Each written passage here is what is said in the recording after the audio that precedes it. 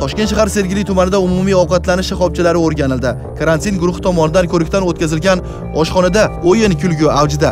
Stollarda kalyan tarqatilgan. Oshxona ishchilari ham karantin talablarini buzishmoqda.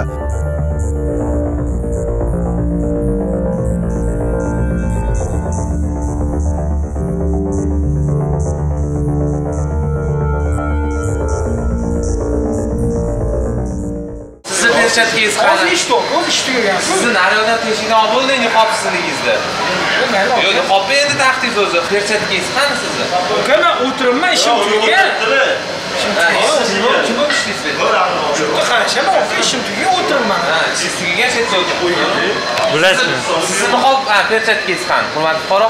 Hozir tashladi okajon necha kishi ishlaysizlar bu yerda oshxonada? Mana mana uch kishimi faqat yo'q hozir ha kechqurungi aka ha kechqurungi uch kishi ha? kechqurungi aka oshxona mutasaddisi tungi 23 ga qadar xizmat ko'rsatish to'xtatilayotganligini bildirgan bo'lsa-da, chilim tarqatilayotganligi bo'yicha berilgan savollarga javob bera olmadi.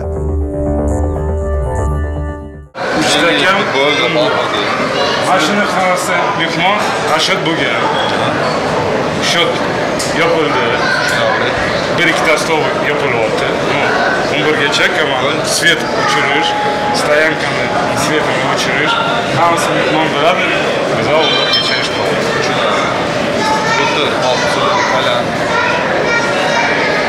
kalyan первый narsa sizni ish faoliyatingizga hech kim to'sqinlik qilmaydi lekin mana bu yerda maxsus komissiyasini qarorida taqiqlangan narsani siz bu yerda tayinlab beryapsiz masalan klientingiz kelib o'zi tayyorlab chakmayaptiyu bu yerda to'g'rimi o'zi o'zi tayyorlab chakib o'tiribdi Yo'l qo'yilgan kamchilik va huquqbuzarliklar yuzasidan bayonnoma rasmiylashtirilib, chora ko'rish uchun vakolatli idoralarga topshiriladigan bo'ldi.